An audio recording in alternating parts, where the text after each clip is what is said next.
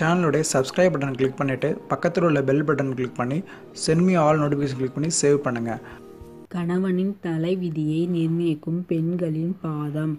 மனைவியின் பாதம் எவ்வாறு இருக்கிறதோ அதை பொறுத்தே கணவனின் வாழ்க்கை சிறப்பாக இருக்குமா இருக்காதா என்பதை கூறிவிட முடியும் என்கிறது சாமுத்திரக்கா சாஸ்திரம்.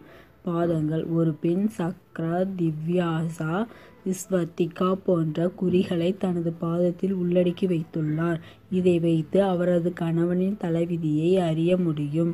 பெண்ணின் இரண்டாம் கட்டை விரல் விட பெரியதாக இருந்தால் அப்பெண் கணவனுக்கு அடங்க மாட்டாள் அவர் சொல்வது எதையும் கேட்காமல் தனக்குத்தானே முடிவெடுத்துக் கொள்வதில் திருமண வாழ்க்கையில் ஏற்படும் பிரச்சனையின் காரணமாக கணவன் நிம்மதி பாதிக்கப்படும். கால் விரல்கள் அனைத்தும் மலை போன்று பெரிய தோற்றத்தில் இருந்தால் மலையின் பாரத்தை போன்று அனைத்து சுமைகளையும் தாங்கி கணவனின் வெற்றிக்கு உறுதுணையாக இருப்பாள். மேலும் நல்ல குணம் படைத்தவளாக இருப்பாள்.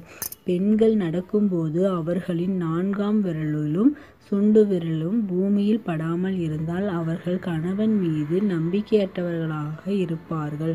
இதனால் வாழ்க்கையில் சண்டை சச்சரவுகள் ஏற்படும்.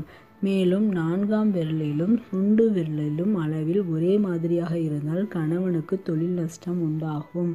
அனைத்து விரல்களுக்கும் இடையே இடைவெளி அதிகமாக இருந்தால் இவர்கள் பண விடயத்தில் ஊதாரியாக இருப்பார்கள். கட்டக்கடங்காமல் செலவுகளை செய்வார்கள்.